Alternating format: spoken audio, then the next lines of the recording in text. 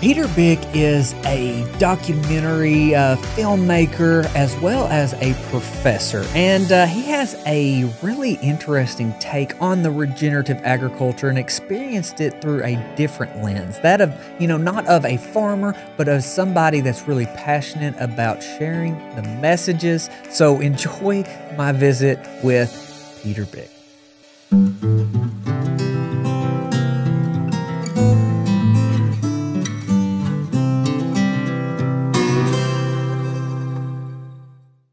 Peter, thank you so much for jumping on here. I have been an admirer of your work for a while. Uh, uh-huh. Carbon Cowboys, it just kind of set the tone for, I think, the movement, man. You've, uh, you've created a lot of awareness. So how, how did you get interested in regenerative agriculture? Well, first, Logan, it's great to be here and thank you for your kind words. Um, for me, it came through uh, concern about climate change. I made a movie called Carbon Nation that came out in 2010 and of all the solutions I was finding, and a lot of times we didn't care if someone believed in climate change or not; they were just doing cool stuff. And uh, we found these farmers doing this amazing stuff. And I met Alan Williams in 2012 because the guy who narrated Carbon Nation, Bill Kurtis, knew Alan, and he said, "If you want to learn about grazing, call Alan." So that's my ground zero for this. And uh, Alan and I spoke on the phone, and I'm like, "Hey, I need to make a movie about this. I want to." I want to inspire McDonald's and Walmart to to put this kind of meat in their stores. And so I filmed Alan in uh, June of 2013, maybe May of 2013, and then I went up and got Neil Dennis in August, and then Gabe in August, and of 2013. We finished that film at the end of the year, and we had our world premiere down in uh, Johannesburg. So that short film, Soil Carbon Cowboys, started everything for me too, man. Um, it was right when I got to Arizona State University. I teach documentary filmmaking here. And we must have shown that film hundreds of times in all sorts of companies, just educating, educating, educating, educating. And and we wanted to make sure there was research on this stuff. Richard Teague was the only one researching this type of grazing, which was a big hole in the research. And so we put the team together, and so that's the work that I'm working on now, and we've got this docu series that's just finished up called Roots So Deep. You can see the devil down there, and and of course Alan's on the team. Alan's in there. It's about our science team. It's about these farmers all over the southeast U.S. who are either doing adaptive grazing or our neighbors of folks doing adaptive grazing, and we just spend time, spend years with folks just to see how, what do you think you know and, and then we share the data after years. So that's that's what i've been working on this whole decade. As we've made all those short films we've been working on this big project too. I love how you're coming at it from a different angle, from that uh, you know the university, the education research angle. That is just incredible. Um, Alan was actually my first uh, guest that gave me any sort of credibility to reach out to the sure. other others to uh, jump on. So Alan holds a special place in my heart for in a for, lot of people's hearts, my friend. absolutely, but uh, that's something else. He is a, he absolutely is. I think I think all of them are so genuine though, and that's what's really blown my mind with how personable and kind and passionate about what they do mm-hmm. is. Yeah, and and and available, right? Available. You know, I remember talking to Gabe when we were filming him, and he was telling me how many people asked him to speak and how he was going everywhere and inviting people. I said, "Did you ever charge anyone for your speaking engagements?" He goes, "No, I wouldn't do that." And I'm like, "Gabe, I think you might want to think about that." and I think he has thought about that. Maybe not just because I mentioned it, but you know, they were just given, given, given, given, given. They're givers. They are. I think that's why they uh, are so dear to so many people is, yeah. is simply because of that. Yeah. So where I have seen a uh, a lot of excitement is in this awareness and through through your work, what do you see as the reflection or what what is the result of putting this out there? Well, you know, people never really thought about soil in any kind of like big company way. People weren't thinking about soil. I mean, you know, we were filming farmers in Canada that were the first organic ranchers in Canada, and they had never looked at their soil. Even folks with that kind of awareness and conscientiousness about regenerative agriculture. So I think I think with the films, we've helped bring awareness to soil, right? And then the idea that cows could be part of the solution is, boy, that's hard for some folks to get their head around, right? And so, and some folks are fighting back hard on that, really hard on that. And, you know, that's why we did the data. We wanted to find out, you know, is this a solution? And, and we knew it was good for the farmers. That was never a question. But is it good for wildlife? Is it good for water infiltration? Is it is it good for the farmers' economics? Right, could really dig into that. Is it good for the environment? You know, the rural economy. Right? Is it good for the rural economy? Is it good for the water cycling in that community beyond the farm? And is it good for greenhouse gas cycling? Is it good for the planet? And so that's what the research we've been working on, and that's that's what's in our documentary series. So you know, we all we love it if folks come out to rootsodeep.org and check us out. It's we're screening live screenings around the country right now. We call it our hometown roadshow, and so we we were at Alan Williams Church in in uh, Starkville a couple months ago, and um, then we were at Ann Demarath's church in Missouri last month, and you know universities, companies, and uh, we'll make it available for rental online at our website. We're thinking April. That's kind of what we're looking at right now, so folks can see see it when they want to. But right now, it's go to our site, request a screening, and that's where we go. So, Peter, when you're doing these hometown shows, like what is uh, what's the community saying? What's that feedback? The feedback has been a dream. You know, it's been a dream because we get the adaptive farmers, the regenerative farmers, they know some of the information in our documentary or they feel it, you know, or they know something's right and they just to then see other people doing it makes them feel part of a community, which is important, right? You don't want to feel like you're alone.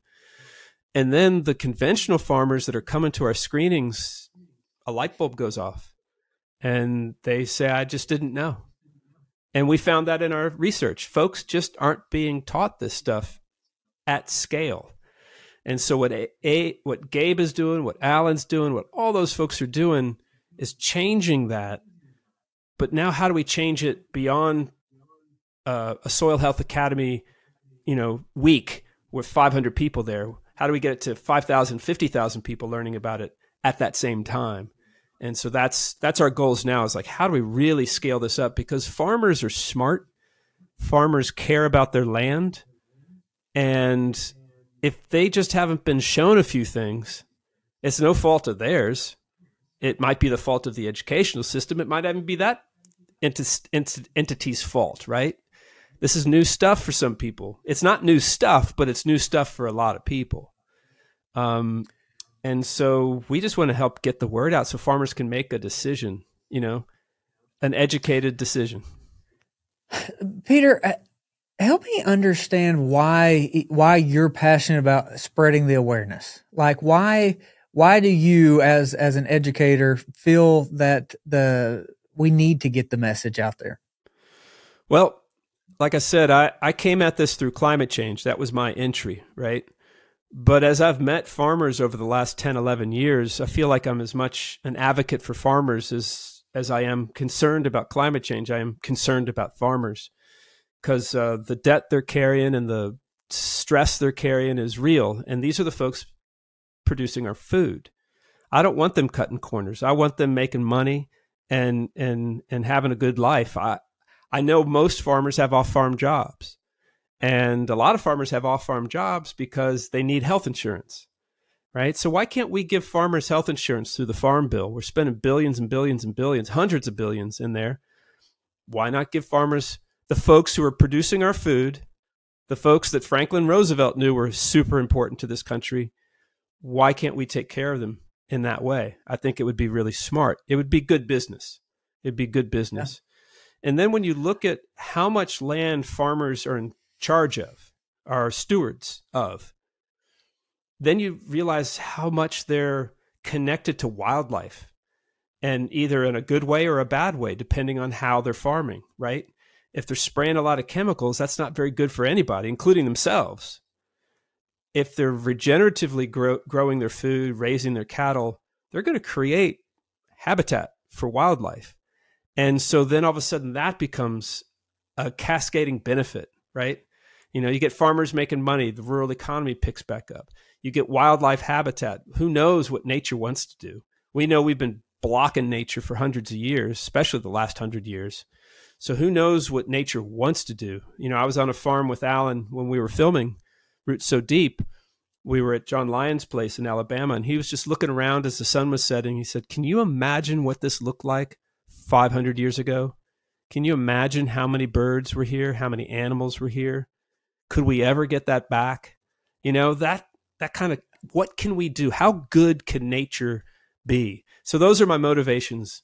Those are my motivations now it goes back to what we were talking about in the beginning just get to know these people and you have a special place for them. And it just it's you see the struggles and also what it could be you know like what it could be if we were doing things right. So for me through the health lens with with cancer and my son that's that's my passion. And so i just kind of like to see you know why why uh somebody else would take the time and money and effort to promote something that the end of the day doesn't really benefit you directly, right? But it's that it's that mission, right? You know, mm-hmm. and uh, that's at least that's where I find myself, Peter. Well, I think the benefit to me directly is living on a planet that's healthy, right?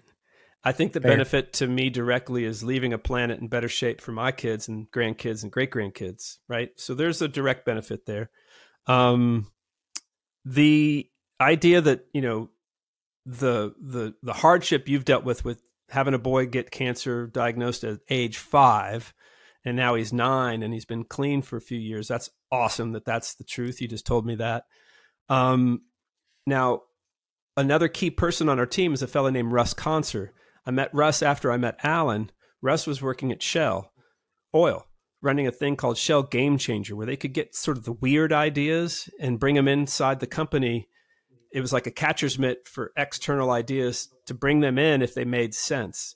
So this idea of drawing down carbon at scale while helping farmers and ranchers was a compelling idea to him. But the reason it was compelling to him was his dad had just died. And Russ was doing the research because he's a very research oriented, thoughtful human being.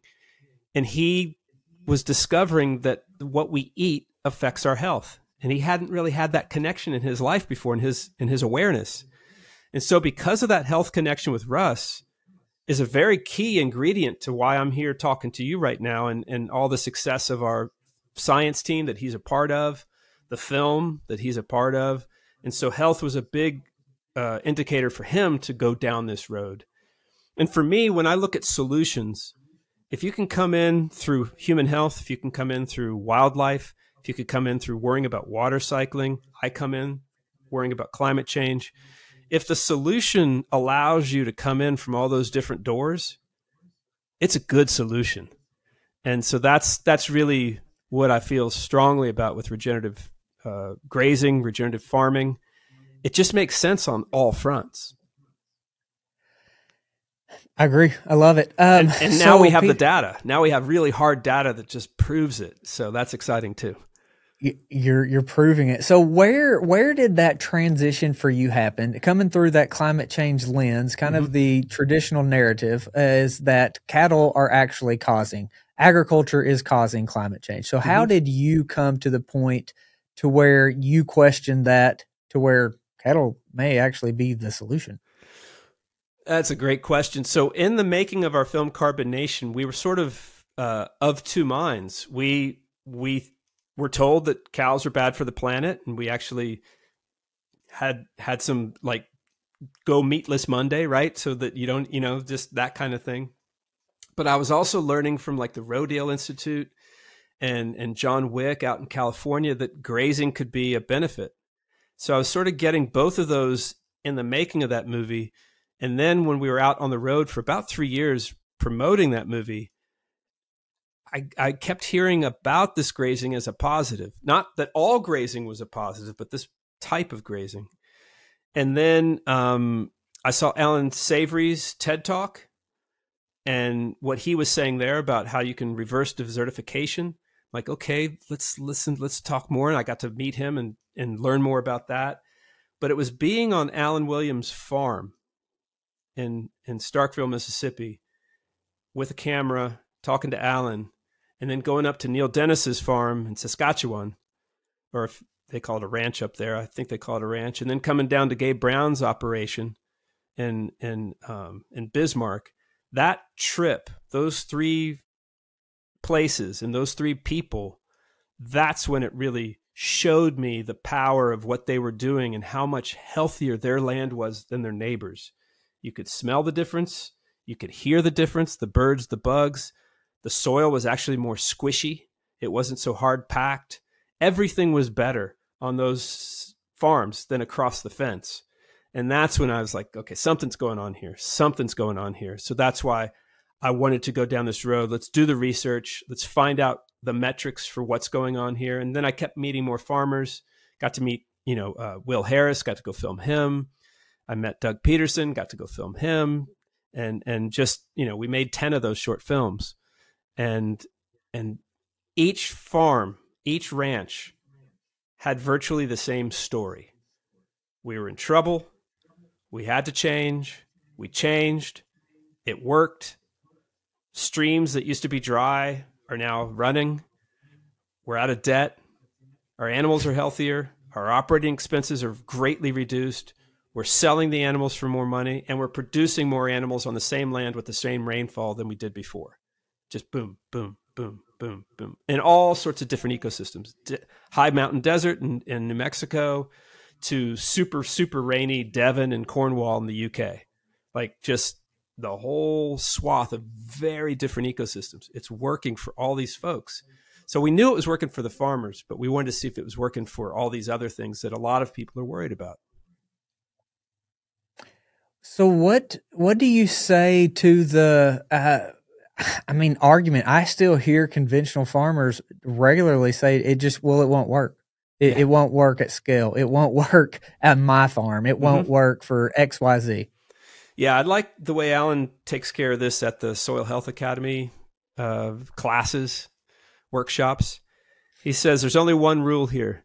You cannot say this won't work on my farm, but you can ask, how can this work on my farm? Right? And I call it the yeah, but syndrome, right? So that's why we made films in all these different ecosystems to keep educating me and learning will it work in the desert? Yes. Will it work in the mountains? Yes. Will it work in in super wet England? Yes. Will it work in a drought in Kansas? Yes. And and so that yeah but syndrome scientists say it, farmers say it, and you know, so I just say I think it will. I think it will work. Um, the extreme of that was when I was filming um, uh, it's a short film called During the Drought. That's on our website. It's on our Carbon Cowboys website, carboncowboys.org. And Michael Thompson is the young farmer that's sort of the star of that film. And um, and he had a field that he had been grazing and then growing corn on.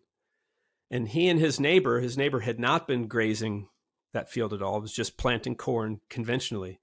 They planted at the same time. They didn't even have a fence between their two pieces of land. And by the time I got there in July, Michael's corn was much richer, deeper green, much taller. And his neighbor said, Yeah, but you got more rain than I did. right? And yeah. so and so everyone feels that way. And I think that's just okay for someone to feel like that because I mean change is hard.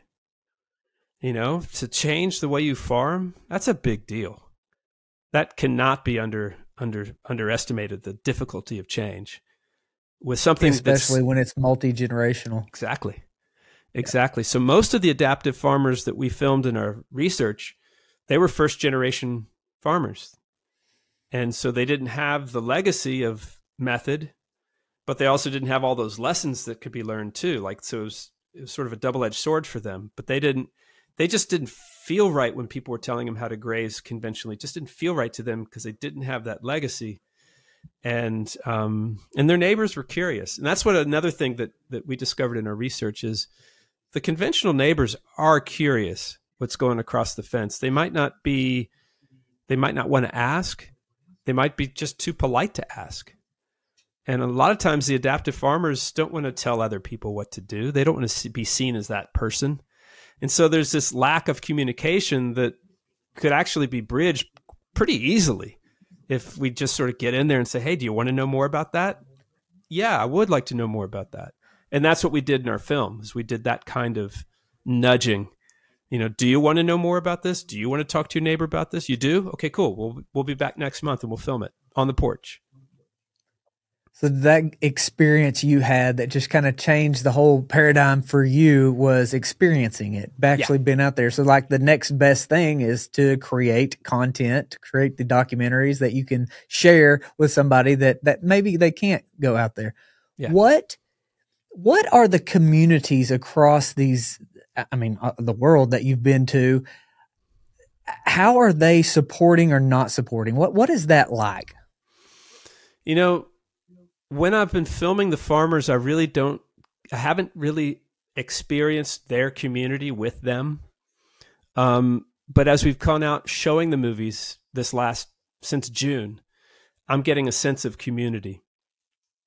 And what I'm finding is the folks who've been out there doing adaptive grazing have felt very alone sometimes because they haven't had the community and then they come to a screening where there's a bunch of other people who are having the same experience they're having. So communities being formed. And then when we have the conventional farmers there who are going man i just did not know about this. I didn't know. It sure does look good to me. And i like what you're saying. I like the fact that there's more birds. I like the fact that the rain's staying on the land. I like the idea of spending a lot less money on inputs. Um, you can see the community forming right in front of you eyes. And so we've been really lucky. We have this amazing social media team that are teaching me on a daily basis. I don't know anything about social media. Uh, I'm learning.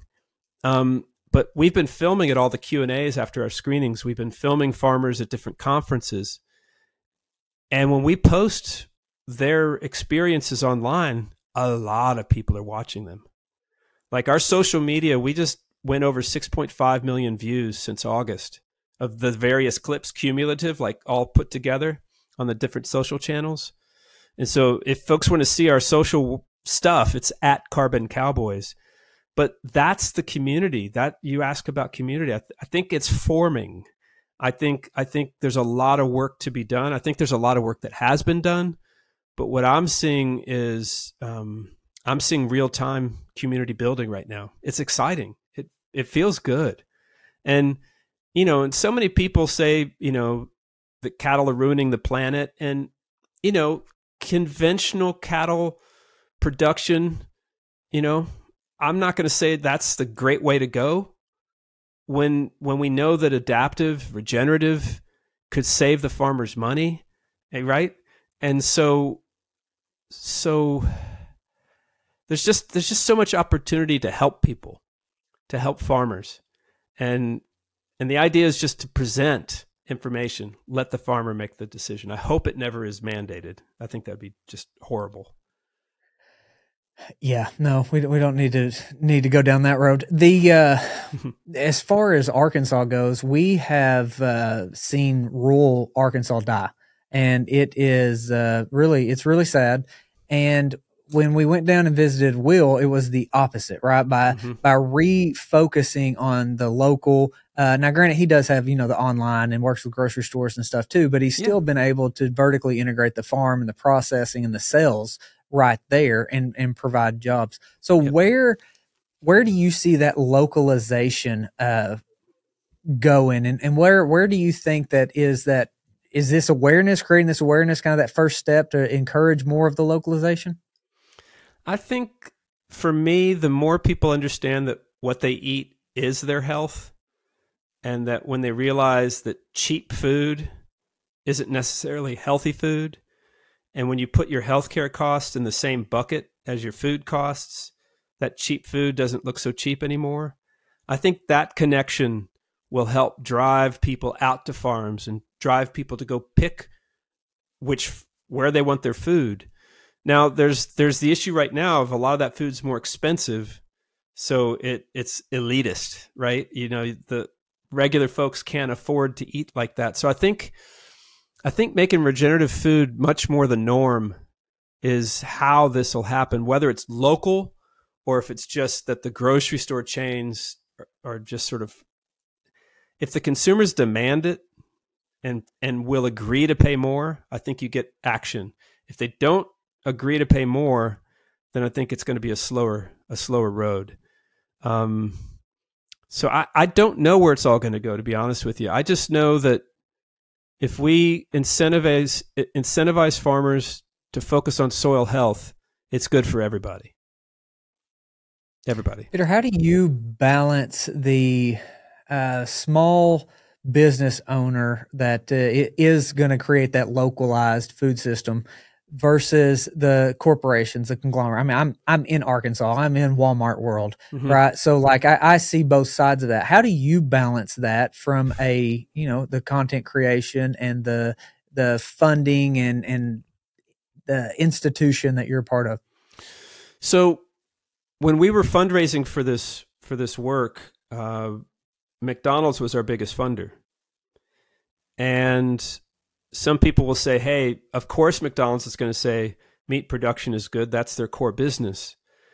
But what really has happened with our research is we're showing McDonald's and a lot of other big meat producers that their methods are not the right way to go writ large, that they have to change. And so, and so, yeah, McDonald's funded us, but we're showing them that guess what? Your supply chain is at risk. And if your farmers start doing regenerative practices, you'll have a more resilient supply chain. And so it's not like the the companies are using us to greenwash. We wouldn't allow that, right? It wouldn't do anybody good, but they're actually finding out through our research that oh wow, the way these few farmers are doing it is a much more resilient climate resilient water security resilient, food security resilient way of producing food. And then you build that up and you realize that's national security issue right there. I mean, a country that can produce its own food, that's a safe country, right? A country that can export more food than it actually eats, that's good business. And so to me, the case for soil health being really important to companies is what I've been working on for 10 years, whether they're a food company or even an oil company, energy company, a tech company, because everybody who works there is eating food. Right. And so if you don't have a healthy workforce, that's bad business. If you don't have a healthy ecosystem to do your business, that's bad business. And so connecting those dots and getting more awareness there has been a big sort of through line for my team's work like I said, for for a decade now. So how do you how do you balance that with such extreme perceptions on these topics? How because I feel like you've done an incredible job of being a connector versus making things more divided. Well, I appreciate you saying that, and that's something that's really important to everyone I work with. Um, uh, a friend of mine uh, about 20 years ago, I was going through a divorce and, and I was very blamey, right? It's all her fault. And it didn't feel good and it wasn't healthy. And he said, you know, the Cherokee have this expression, no blame, no shame. And I don't know how to say it in Cherokee, but the idea. And it was an amazing piece of advice, an amazing piece of wisdom that my friend Luke Phillips from South Carolina gave me and I've tried to put that into all the work we're doing. Carbon Nation. Our tagline for Carbon Nation was a climate change solutions movie that doesn't even care if you believe in climate change, right? That these are good ideas no matter what you believe. Um, saving money by using less energy to get the beer cold, why not, right? Do you want to give a kid asthma for your cold beer? do you want to have clean air and still have a cold beer? You know, that's how you look at it. And so that taught me a lot of how to communicate with folks without being blamey and saying, you did this and you did that. This is all your fault and blah, blah, blah. And so in all of our work, we come at it as just that. We don't blame. We just don't. And, and people, I know I listen if someone's not pointing the finger at me. And so, why yeah. wouldn't that be the same for people that I'm talking with? And once you do this, like just a gentle, respectful listening, like I was telling my boys the other night, I don't know if they'll remember it or maybe they will when they're 40 or I don't know, but I was saying, you know, listening is one of the most respectful things you can do for another human being. It's a gift to give to someone, to listen to them, really listen. And my wife, Krishna, she's the best at it by far she's taught me how to listen. She actually remembers what I said. You know what I mean? She listens. And when you feel listened to, you feel loved, you feel uh, uh, um, uh, validated, you, you feel heard. And I think such a big part of our country's, and I'll, I'll put it in quotes, division right now, because I think it's a lot of I think it's a lot of lies that people are buying that we are divided, um, is because we're not getting the chance to listen to folks and we're not giving the chance to be heard. And so, you know, all the farmers I work with, most of the farmers, we, we probably vote differently, but we're friends. That's the way it should yeah. be. Okay, yeah. you've got some differences. Great. Let's celebrate the differences. Maybe we can learn from each other. Um, but we don't point fingers we talk about soil health, you know, and that's that is a great uh, connector right there. Soil health is a great connector for anybody. I've never heard anyone say, "I don't buy that. I don't want that." never heard that. And so that's how it's, we uh, that's how we communicate. We we communicate with respect. I mean, I feel like you were you were describing Dale Carnegie's work. Really, uh, just uh, it was it was wonderful. I think you, you could give a whole class on how we communicate, you know, this way, uh, and then be the new Dale Carnegie. I think that's beautiful, and I think that's probably why you're having an impact. No, it's it's it's cool to see people um, appreciate the approach. I'll tell you that. It feels good to me. It it does, and, and that the, that war I've said it you know many times throughout our our interviews and stuff is the war on any nothing has worked right? The war on drugs the war on cancer the war on anything it, it just hasn't. And that's why you know i called this sowing prosperity. I feel like by shining a light that's how we get rid of that darkness. Focusing on the things that create prosperity those other things just kind of go away. Um, and that's I, I just I resonate with what you're saying, brother. I love it. I'm excited to have uh, had the opportunity to meet you and uh, know that you know there's there's so many of us out here trying. So many, uh, and so many. Logan, I'm telling just, you, we're not alone at all. And and and what what your podcast does and what social media is showing me in a positive way because social media can also be a weapon in a negative way but we're we're seeing community building and um, and look, you took a you took, you know, sometimes it takes a shock to the system to wake us up. You had a shock to your system, your your family, right, and health, and um, and for me, it was learning about climate change and going, holy crap, this is a big deal, right? That was my shock, and and the fact that your shock and my shock could lead us to soil health, I just find that fascinating, fascinating, and encouraging and encouraging. Yeah. I love it. I love it. All right. Well, what's next for you, brother? What uh, what can we do to help support? I know you've mentioned Appreciate some of that. the websites and stuff. So what yeah. do we what do we do next? Uh, our social media handle across the board is at Carbon Cowboy. So come check us out there. Our website is rootsodeep.org. Sign up for our newsletter. Be part of our our team. Help us help you. Right now, we've got enough social media following that we can help other groups. Right and so um, and so if if a group needs the word out on something along these lines, contact us. We'll be happy to sing your song. Happy to. And um, like there's this group called the Environmental the Evangelical Environmental Network. EEN.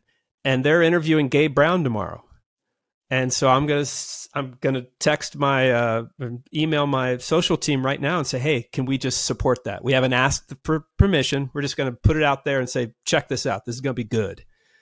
And because um, I do I do think that the idea of being a good steward of the earth is a powerful message for a lot of people. and and um, it's a it's another place of common ground of common thinking of of you know so let's let's celebrate that right? Let's celebrate that. So so that's what what it is. Our website our social and just come join us and uh, see where this thing goes man. And how can we help you? You, you know when you get this up we we'll, we'll push this out. We'd be we'd be thrilled to do that. Well, thank you, thank you, my friend, and I, I have thoroughly, thoroughly enjoyed uh, the visit and the, the time. I look forward to seeing what uh, what comes next, and uh, man, enjoy enjoy you some Arizona weather. Thank you, yeah, thank you, Logan. Thanks for reaching out, man. I really appreciate it. Good to know you. Good to meet you. Thank you for joining us on Sowing Prosperity. Be sure to follow along across the social media platforms, including YouTube, and be sure to go to sowingprosperity.com.